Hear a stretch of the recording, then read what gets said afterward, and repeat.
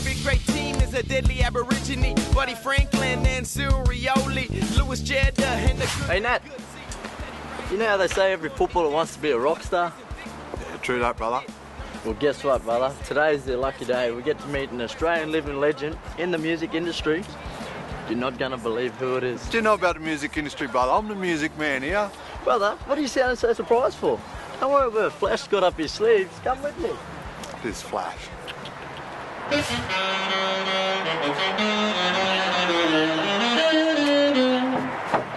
you just caught me, boys. I was just doing a bit of practice. How How are you, How you going, brother? Get the hug, get. Come in.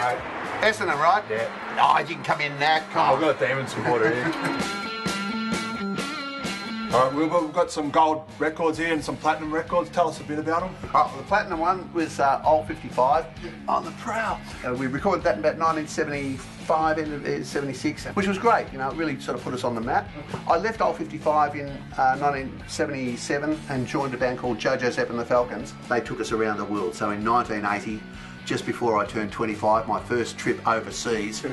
Hey, I've been on footy trips before overseas, so I'm sure the music trips are a little bit similar. Sort of similar. yeah. What happens on the music trip and the footy trip stays on the footy trip.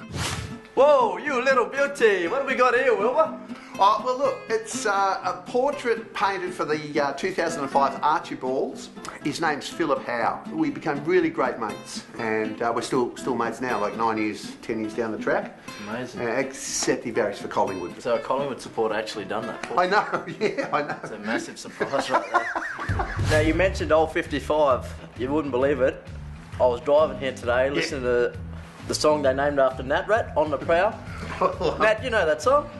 On the prowl, on a Saturday night, on the prowl. Now your brother Chris Aiken obviously Yep. played at the Demons. Yep. Now who was your greatest demon of all time? Bar Flash. Oh, apart from you, um, oh, look, I've, I've loved watching. You know, David, David Schwarz and Neitz, Russell Robertson, Robbie Flower. You know, they've all, you know, brought some great moments. Many others too. You know. Well, you wouldn't happen to have a amazing red and blue jumper lying around, would you? A Demons jumper by any Oh, no, look, I mean, I, I, I would, mate. I mean, I've got, I've got a scarf, of course, but you know, I would have a jumper, except they don't, they don't make them in uh, SM. Small marquee. Well, Wilbur, thanks for joining myself and Nat, the Deadly Times of Nat and Flash. It's been an absolute pleasure showing us around your house.